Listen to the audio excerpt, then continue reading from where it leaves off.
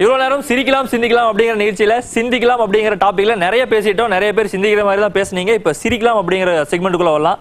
சிரிக்கலாம் செக்மெண்ட்ல இந்த பக்கம் நட்பை சப்போர்ட் பண்ணி பேசுறாங்க. இந்த பக்கம் காதலை சப்போர்ட் பண்ணி பேசுறாங்க. நான் நட்பை சப்போர்ட் பண்ணி பேசுற உங்ககிட்ட நான் முதல் ஒரு கேள்வி கேட்டுக்கிறேன். நட்புக்காக நீங்க எங்கெல்லாம் வந்துட்டு அவமானப்பட்டிருக்கீங்க? எங்கெல்லாம் அவமானப்பட்டிருக்கோம்னா இப்போ வந்து நம்ம ஃப்ரெண்ட் ஏதாச்சும் தப்பு பண்ணியிருப்பா அவள் வந்து நாற்பது மார்க் தான் வாங்கியிருப்பா. ஆனால் நான் வந்து தொண்ணூறு மார்க் வாங்கியிருக்கேன் வச்சுக்கோ. எங்கள் அம்மா பாரு நாற்பது மார்க் வாங்குற பொண்ணு கூட தான் நீ சுற்றிட்டு இருக்க. அவள் கூட சேராத. உனக்கு அண்ணா அவன் படிப்பில் மட்டும்தான் கம்மியாக இருப்பான் ஆனால் மற்றபடியில் அவள் நான் எப்பவுமே நம்ம கூடயே தான் இருந்திருப்பா. நான் வந்து எங்க அவமானப்பட்டிருக்கேன்னா என் ஃப்ரெண்ட் ஒரு பொண்ணு. நானா அந்த காதல் பண்ற பையனான்னு கேட்டா அவன் தான் சொல்லிட்டு போயிடுவா ஸோ அதுல அவமானப்பட்டிருக்கேன்.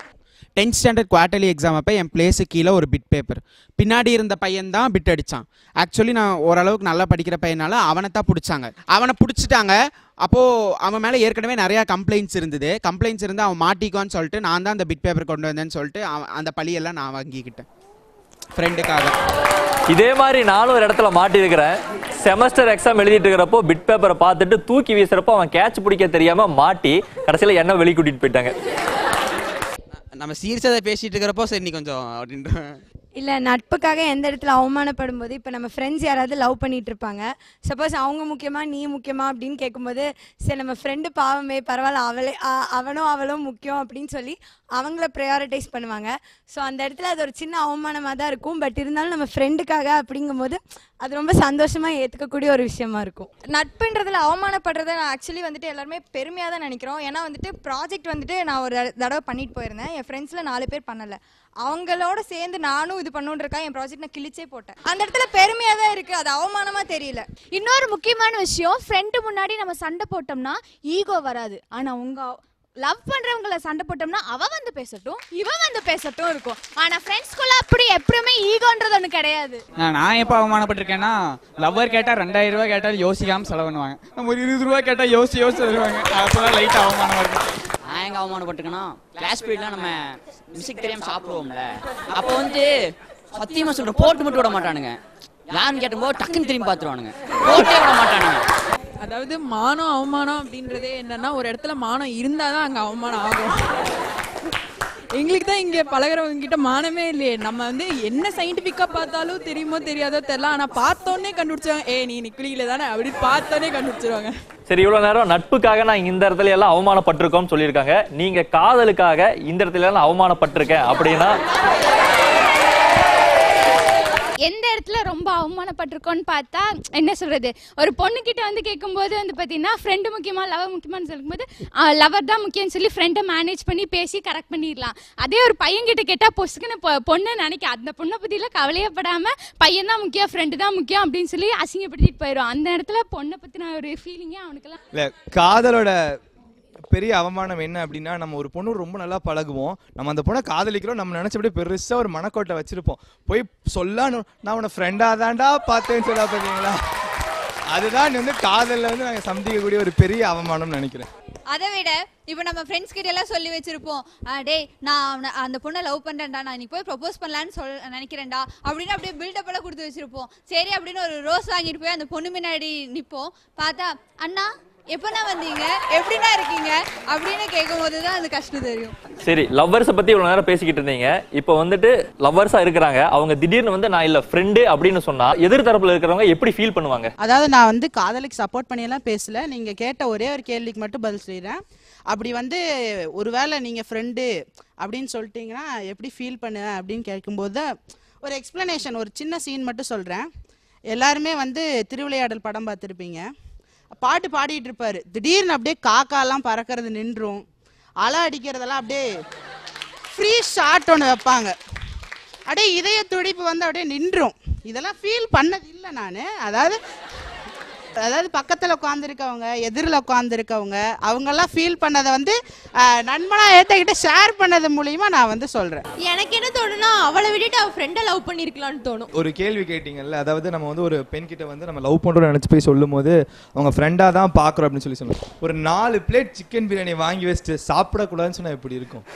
அந்த மாதிரி இருக்கும் அப்புறம் எங்கெல்லாம் அவமானப்படுறீங்கன்னு கேட்டீங்கல்ல ஒரு பொண்ணு இருப்பா அவ லவ் தான் நம்ம பண்ணுவோம். ஆனா அந்த பொண்ணு நம்ம ஒரு போர்ட்டரை விட மோசமா நடக்கும். அந்த பொண்ணுக்கு பேக் தூக்கிட்டு போகணும். அந்த பொண்ணு செருப்பு பிஞ்சு தான் செருப்பு கூட நம்ம தான் தூக்கிட்டு போகணும். இந்த மாதிரிலாம் பல இடத்துல அவமானப்பட வேண்டியது இருக்கும்.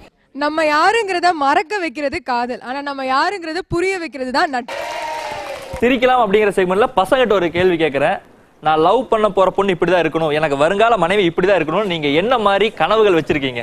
நான் லவ் பண்ணுற பொண்ணு எப்படி இருக்கும் அப்படின்னா ஆக்சுவலாக நான் என்ன பாசிட்டிவா இருந்தாலும் என்ன நெகட்டிவா இருந்தாலும் அவள் வந்து அவள் வந்து அதை அடாப்ட் பண்ணி அக்செப்ட் பண்ணிக்கணும். அது முக்கியமான விஷயம். அவளுக்காக என்ன நான் மாற்றிக்கணும் அப்படிங்கிறத அவள் என்ன எந்த இடத்துல என்னை இழந்ததா அவள் கிடைக்குன்னா அது லவ்ங்கிறது என்னை பொறுத்த வரைக்கும் அது கிடையாது. She should accept and adapt myself mutual mutual இப்போ அதே இடத்துல இதை நான் அவங்க கிட்டேருந்து எதிர்பார்க்குறேன் அப்படின்னா எதிர்பார்க்கறதுக்கு உண்டான தகுதி என்கிட்ட இருக்கும். இப்போ அவங்க வந்து எங்கிட்ட எதிர்பார்க்குறாங்க நானும் இதை அவகிட்ட எதிர்பார்க்கணும். இது மேண்டிட்டரி நீ வந்து சொல்கிற மாதிரி நடக்கணும் நான் சொல்கிற மாதிரி நடக்கணும் அப்படின்னா ஆக்சுவலாக அது லவ் கிடையாது. அது வந்து டாமினன்ஸ் ஒரு கை மேலே ஓங்கியிருக்கும் ஒரு கை கீழே ஓங்கியிருக்கும் அதாவது அவர் வந்து ரொம்ப ஆசைப்பட்டு கேள்வி கேட்டங்காட்டி நான் இதை பதில் சொல்கிறேன் எந்த ஸ்பெசிஃபிகேஷன்ஸும் கிடையாது பட் மூணானா இருக்குது பொண்ணா இருக்கணும் பொண்ணா இருக்கணும் பொண்ணா இருக்கணும். அவ்வளோதான் பொண்ணா இருந்தால் போதும். பெண்ணா இருக்கணும்னாலே அவங்களுக்குன்னு தனியாக சில குணங்கள்லாம் வந்துடும் அதில் அவங்க பெண்ணா இருந்தால் மட்டும் போதும். எனக்கு பிரச்சனையே இல்லை சார். நமக்குன்னு வரப்போகிற ஒருத்தங்க வந்து நம்ம கூட கடைசி வரைக்கும் இருக்க போகிறவங்கள தான் இருக்க போகிறாங்க அப்படிங்கும்போது நம்ம எந்த அளவுக்கு அவங்க மேலே அன்பு காமிக்கிறோமோ அது அளவுக்கு இல்லாட்டியும் அதே அளவு அதுக்கு மேலே அவங்க திருப்பி காமிக்கும்போது ஒரு சந்தோஷம் இருக்கு இல்லையா? அது எப்பவுமே கடைசி வரைக்கும் இருக்கிற மாதிரி ஒருத்தர் போதும். எனக்கு வரப்போகிற மனைவி வந்து ஹைட் இருக்கணும். என் அளவு ஹைட் இருக்கணும். ஒல்லியாக இருக்கணும். மாநிலமாக இருக்கணும். நல்லா ஃப்ரீ ஹேர் விடுற மாதிரி பொண்ணாக இருக்கணும். நல்லா ட்ரெண்டிய பொண்ணாக இருக்கணும். அப்புறம் வந்து நான் எவ்வளோ பிள்ளைகிட்ட பேசினாலும் வந்து எனக்கு சந்தேகமே படக்கூடாது. அப்புறம் வந்து எங்கள் குடும்ப லைக் குடும்பத்தை பிரிக்கக்கூடாது. ஒரே மாதிரி இருக்கணும். கூட்டு குடும்பமாக தான் கடைசி இருக்கணும் அண்ணன் விட்டு வரக்கூடாது. அந்த மாதிரி அதே மாதிரி அவங்க குடும்பமும் சேர்ந்து இங்கே வந்து இருக்கணும். நான் என்னோட பிளானே அப்படி தான் இருக்கும். வீடு கட்டும் போதே வந்து ஒய்ஃப் இருக்காங்கன்னா அவங்க ஃபேமிலி வந்து தங்குற மாதிரி வீடு கட்டணும்.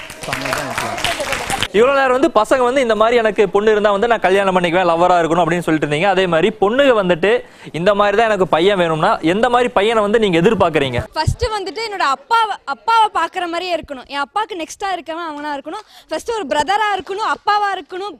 எல்லாமே பெஸ்ட் ஃப்ரெண்டா இருக்கணும் பெஸ்டி எல்லாமே அவ்வளோ அப்புறம் வரதட்சணை பேர்ல எதுவுமே கேட்க கூடாது அது எனக்கு சுத்தமா பிடிக்காது. நீங்க கேட்பீங்களா கேட்க மாட்டீங்களா? நான் கேட்க மாட்டேன் சார். எங்க வீட்லயே கேட்க மாட்டேன் நாங்களும் கேட்க மாட்டோம் அவனும் கேட்க கூடாது. அதான் கண்டிஷன் நான் இந்த மாதிரி எக்ஸ்பெக்ட் பண்ணுறேன் அப்படி சொன்னால் ஃபர்ஸ்ட் ட்ரஸ்ட் இருக்கணும் ரிலேஷன்ஷிப்பில் அவன் என்னை கம்ப்ளீட்டாக ட்ரஸ்ட் பண்ணும். அந்த மாதிரி ஒரு பையன் தான் எனக்கு வேணும். அண்ட் எனக்கான ஃப்ரீடம் அவனும் எனக்கு கொடுக்கணும் சரி அதெல்லாம் ஓகே. அதாவது ட்ரஸ்ட் பண்ணணும் அதெல்லாம் ஓகே தாடி வச்சிருக்கணும் ஸ்பைக் இருக்கணும் அந்த மாதிரி எந்த மாதிரி? ஆ எனக்கு நல்லா தாடி வச்சிருக்கணும் சார். மீசை கொஞ்சம் பெருசா இருக்கணும். எப்படி இருக்கணுன்றதை விட இந்த மாதிரி ஒரு கேரக்டரில் இருக்கணும் அப்படின்றதா என்னோடது. என்னன்னா வந்துட்டு நாங்கள் வீட்டில் பொன் பிறந்த வீட்டிலன்னு சொன்னால் ஒரு இருபத்தி மூணு வருஷம் இல்லை இருபத்தஞ்சு வயசு அவ்வளோதான் இருப்போம். அடுத்த ஐம்பது வயசும் அவங்க கூட தான் இருக்க போகிறோம் ஸோ அது எங்களை பார்த்துக்கிற மாதிரி எங்களை புரிஞ்சுக்கிற மாதிரி அதுக்கு தகுந்த மாதிரி அவங்க இருக்கணும். எனக்குங்கிறத விட பெண்கள் எல்லாருக்குமே பொதுவாக அவங்களுக்கு தனி ஒரு லிபர்ட்டி இருக்கணும் அவங்களுக்கு சுதந்திரன்றது இருக்கணும். எல்லாரும் இப்போ ஒரு பெண் வந்து வேலைக்கு போகணும் கல்யாணத்துக்கு அப்புறமும்ன்றது விரும்புகிறாங்கன்னா அது அவங்களுக்கு சுதந்திர அவங்கள விடணும். அவங்க நீ நீ போகக்கூடாது கல்யாணம்னா போகக்கூடாதுன்ற ஜென்டில்மேன் அக்ரிமெண்ட்டோட வர்றது வந்து அது கண்டிப்பாக ஒரு நல்ல ஒரு அன்பை இருக்காதுங்க பாஸ்ட்டுக்கு கிளறக்கூடாது மற்றவங்களோட பாஸ்ட்டை இப்போ வந்து ஒரு ரிலேஷன்ஷிப்குள்ளே கமிட் ஆகி வந்துட்டாங்கன்னா தேவையில்லாமல் பாஸ்ட்டை பேசி அது இருக்காது. ரிலேஷன்ஷிப்பில் அது இருக்கக்கூடாது. நானும் கேட்க மாட்டேன். என்ன கேட்டால் நான் சொல்லிடுவேன் நான் கேட்க மாட்டேன் தேவையில்லை. எனக்கு வந்து என்னன்னா என் சந்தோஷ நான் சந்தோஷப்பட போது கை கட்டி சிரிக்கிறதை விட நான் கஷ்டத்துல இருக்கும்போது நான் ஒரு கை கொடுத்தா போதும். அவங்க மட்டும் இருந்தா பிளாக்கா இருக்கணும் கண்டிப்பா. ஹைட்டா இருக்கணும் பியர்ட் வச்சிருக்கணும். என்ன நல்லா பாத்துக்கணும் இல்லையோ அவங்க அம்மா அப்பாவை நல்லா பாத்துக்கணும். பொண்ணுங்களுக்கு காமனாகவே பாய்ஸ் எல்லாரும் கேட்டுக்கோங்க இது பேசிக் மோஸ்டாகவே ஹைட்டாக இருந்தால் ஹைட்டாக இருக்கணும். பியர்ட் வந்து வச்சிருக்கக்கூடாது ட்ரிம் பண்ணியிருக்கணும். மசில்ஸ் அதிகமாக இருக்கணும். அப்புறம் பிடிக்கிறதுக்கு டெடி பியர் மாதிரி இருக்கணும். ஷர்ட் சைஸ் ஃபார்ட்டி ஒயிட்டாக இருக்கணும் நல்லவராக இருக்கணும். அதே எனக்கு போதும். பிளாக்கா இருக்கணும் பார்க்கறதுக்கு கொஞ்சம் லைட்டா தாடி வச்சிருக்கணும். நல்லா சமைக்க தெரியணும். அவ்வளவுதான். கலர் எனி திங் பட் நல்லா தாடி வச்சிருக்கணும். கொஞ்சம் மேன்லியா இருக்கணும். ரொம்ப லீனாலாம் இல்லாம கொஞ்சம் ஃபிட் ஃபிட்டா கொஞ்சம் ஜிம் பாடி அந்த மாதிரி கொஞ்சம் ஃபிட்டா இருக்கணும் அண்ட் சமைக்க தெரிஞ்சிருக்கணும். கொஞ்சம் ஹெல்ப் பண்ணணும். லைக் ஹவுஸ் ஹோல்ட் ஒர்க்ஸ் வந்து?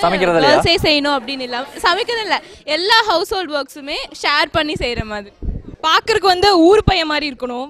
நார்மலாக இல்லாமல் வில்லேஜ் பாய் மாதிரி இருக்கணும் பார்க்க அதுக்கப்புறம் அப்பா காசுல இருக்கிற பையனோட சொந்தமாக சம்பாதிக்கிற பையனை சின்ன வேலை செஞ்சாலும் சொந்தமாக செய்கிற மாதிரி. எல்லாரும் சொன்ன மாதிரி தான் அன்பா பார்த்துக்கணும் பாசமா இருக்கணும். முக்கியமா அந்த பையனுக்கு வந்துட்டு விவசாயம் பண்ண தெரிஞ்சிருக்கணும். என்னை விட நல்லா ஹைட்டாக இருக்கணும். அதுக்கப்புறம் வீக்லி வீக்கெண்ட்ஸ்லாம் வந்துட்டு ஷாப்பிங் கூட்டிகிட்டு போகணும். ரொம்ப மேஜரான திங் ஆமாம் அப்புறம் அப்புறம் பேசிக்காக சமைக்க தெரியணும். வீடெல்லாம் கூட்டி தெரியணும். வாஷிங் க்ளீனிங் அது எல்லாமே தெரிஞ்சிருக்கணும். நீங்க என்னதான் பண்ணுவீங்க? சாப்பிடுவோம் என்னை நல்லா பார்த்துக்கணும். அப்படியே கால் தரையிலே படாமல் வச்சுக்கணும். எனக்கு எப்படி இருக்கணும்னா சிகரெட் குடிக்கக்கூடாது மெயின் அப்புறம் வந்து தண்ணி அடிக்கலாம் பட் லிமிட்டா uh, அப்புறம் வந்து பசங்க எப்படி இருந்தாலும் எனக்கு பிரச்சனை. ஐ மீன் கேரக்டர் வைஸ் நல்லா இருக்கணும். ஆனால் வந்து uh, மூஞ்சி எப்படி இருந்தாலும் ஃபேஸ் கட் அந்த மாதிரிலாம் பார்த்தா எனக்கு பிரச்சனை இல்லை. நல்லா ஷேரிங் டெண்டன்சியாக இருக்கணும். உனக்கு என்ன இதை பற்றி தெரியும்? அப்படின்லாம் கேட்கக்கூடாது. எல்லாமே நல்லா ஷேர் பண்ணிக்கணும். ஃப்ரெண்ட்லியாக பழகணும் ஜாலியாக இருக்கணும். இவ்வளோ நேரம் சிரிக்கலாம் சிந்திக்கலாம் அப்படிங்கிற ரெண்டு செக்மெண்ட்லையும் Sri Krishna arts and science college கோவைப்புத்தூர் Coimbatore அந்த கல்லூரி மாணவர்கிட்ட விவாதம் பண்ணிக்கிட்டு இருந்தோம். ரொம்ப அருமையா பண்ணியிருந்தாங்க. சிந்திக்கலாம் அப்படிங்கிற செக்மெண்ட்ல கடவுள் இருக்கா இல்லையா அப்படிங்கிற கேள்விக்கும் ரொம்ப அருமையா பண்ணீங்க. இப்ப நட்பு காதல் வரப்போற கணவன் எப்படி இருக்கணும் வரப்போற மனைவி எப்படி இருக்கணும் இந்த மாதிரி பல விஷயங்களுக்கு அருமையா பதில் சொல்லியிருக்கிறீங்க. அடுத்த வாரம் இதே மாதிரி ஒரு நல்ல கல்லூரியிலிருந்து நல்ல தலைப்பில் சந்திக்கிறேன். அதுவரை உங்களிடமிருந்து விடைபெறுவது நான் உங்கள் விஷ்ணு.